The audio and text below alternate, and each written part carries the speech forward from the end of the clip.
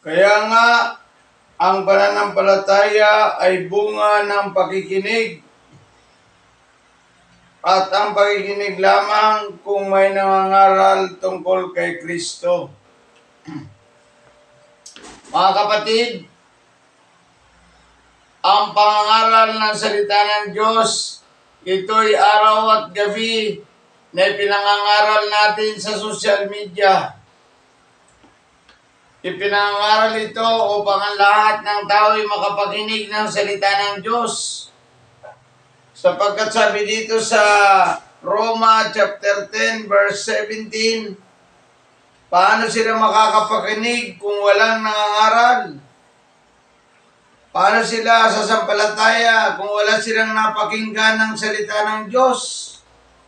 Kaya sa umagang ito, akin pong uh, idinadalangin sa inyo na kapag narinig nyo ang salita ng Diyos na ito, kayo po ay magsisi at sumampalataya sa ating Panginoong Kristo bilang Panginoon at tagapagligtas ng ating buhay upang tayo pong lahat ay magtamo ng buhay na walang hanggan, nakapiling ng Diyos na kung saan ang gusto ng Diyos ang lahat ay magtamo ng kapatawaran sa Kanya upang ang lahat ng tao ay ayaw ng Diyos na mapahamak doon sa naglalagablab na apoy ng impyerno. Sapagkat ang gusto ng Diyos sa atin ay magsisi at tumalikod sa kasalanan. Kaya sabi niya dito, sa Roma chapter 10 verse 17, kaya nga ang pananampalataya ay bunga ng pakikinig. At ang pakikinig lamang kung may nangangaral tungkol kay Kristo Jesus. Ngayon, ito'y sinasamantala natin itong pagkakataong ito habang malaya pa tayo nakakapangaral ng salita ng Diyos. Kaya habang malaya pang ipinapangaral ng salita ng Diyos, ay pinapangaral natin ito araw at gabi upang ang lahat ng tao ay magtamasa ng buhay na walang hanggan. Sabi ng Biblia, Paano makakapakinig ang mga tao kung walang nangangaral? At paano sila sasampalataya sa Diyos kung wala silang napapakinggan na nangangaral ng katotohanan? Itong Biblia at ang pinapangaral natin dito ay apat na pi ang daan papunta sa langit. Ito ang uh, kaligtasan, inaaral natin ang buhay na walang hanggan ay pinangako ng Diyos at yung good news na yung uh, magandang balitang uh, ginawa ng Panginoon doon sa krus ng Kalbaryo para sa ating lahat. Kaya ang gagawin na lang natin, sumampalataya tayo sa ating Panginoong Kristo bilang Panginoon natin at uh, tagapagligtas. Sabi ng Biblia, sabi dito sa Roma, chapter 10 verse 17, paano sila makakasampalataya? Pag kayo po ay sasampalataya, bilang Panginoon at tagapagligtas kay Kristo Jesus, kailangan niyo po yung apat na P ang daan papunta sa langit. Apat na P yun.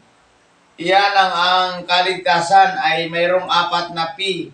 Una, pagsisisi sa kasalanang iyong nagawa o pagsisisi sa kasalanang iyong uh, minana.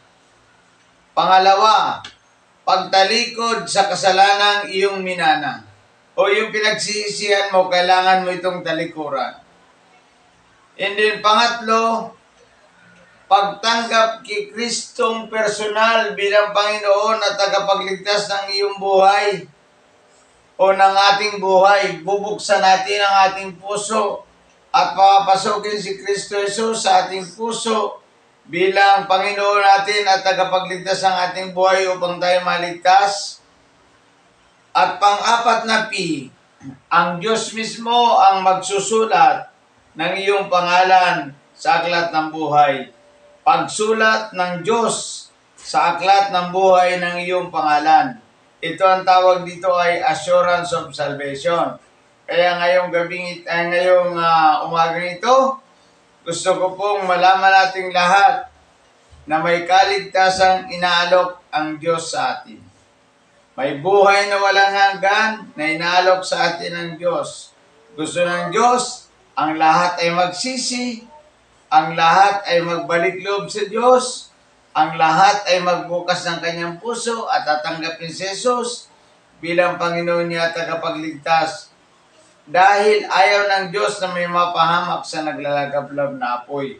Ang gusto ng Diyos, ang lahat ay maligtas. Kaya purihin ang Panginoon, tayo na pong lahat, magsisi tayo at tumalikod sa kasalanan at lumapit sa ating Panginoong Kristo.